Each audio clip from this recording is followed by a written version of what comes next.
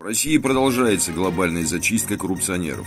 Сразу несколько громких задержаний произошло на этой неделе. Так, в Министерстве обороны России задержан глава военторга. МВД возбудило уголовное дело о хищении на 400 миллионов рублей руководством и сотрудниками АО «Военторг» при исполнении госконтрактов для нужд Минобороны. Силовики уже провели 64 обыска в домах руководства сотрудников Минобороны, помещений военторга и ряда компаний в Московском регионе, Краснодарском, Ставропольском крае, Северной Осетии и Пскове. Руководителю военторга грозит до 10 лет лишения свободы. Источники в силовых ведомствах рассказали, что на причастность к махинациям проверяется бывший замминистра обороны Дмитрий Булгаков, который стал седьмым высокопоставленным человеком из системы Минобороны, которого арестовали за последнее время.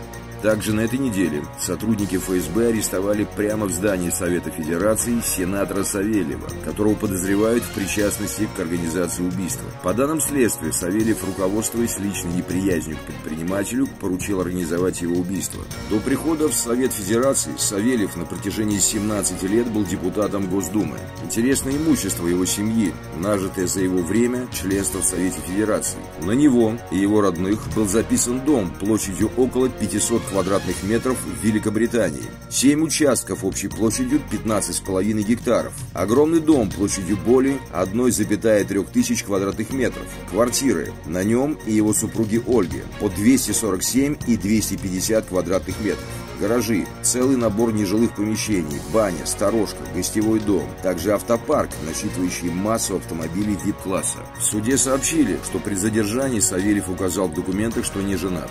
Проходят обыски. Дмитрия Савельева отправили в СИЗО на два месяца. Редакция «Момента истины» продолжает прием обращения граждан. Если вы столкнулись с произволом или несправедливостью, свяжитесь с нашей редакцией по указанным контактам.